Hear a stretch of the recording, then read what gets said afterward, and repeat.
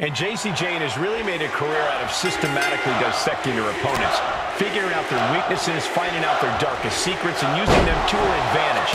Jayne doesn't care about boundaries, doesn't care about feelings, she just cares about winning.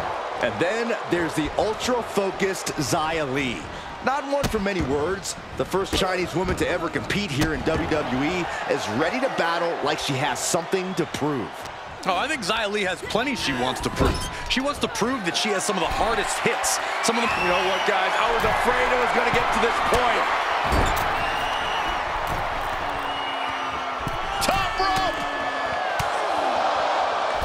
Able to push off and avoid that attack. Boom! Xia gets her back.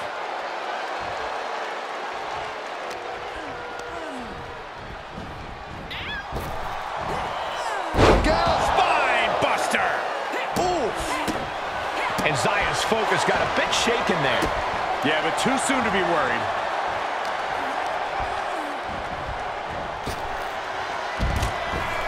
Something's about to go either very wrong from the top through the air and connects. showing absolutely no apprehension to putting one's body on the line. And Xia Li is really falling behind. Yeah, Li needs to figure things out. Corey, Jacy Jayne has amassed quite a bit of success in a relatively short time in this business. Do you think that could play a factor in this one?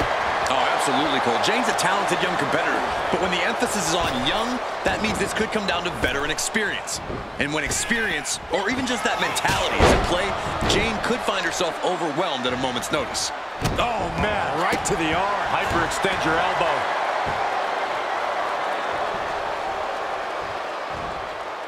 What are we going to see from Jacy? From the top, Oh, drop. Oh, it's a piercing elbow. This match is wearing her down. Yeah, but you can't count anyone out yet. This match could still go either way. Chicken wing into a facebuster. Jacy Jayne asserting her dominance and physical presence there.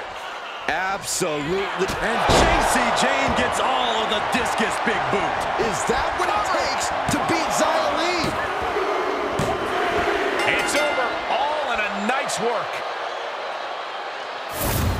Here is your winner, Jacy Jayne. Jacy Jayne really celebrating her win here.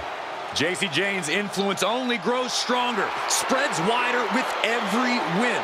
We should all be appreciative of that.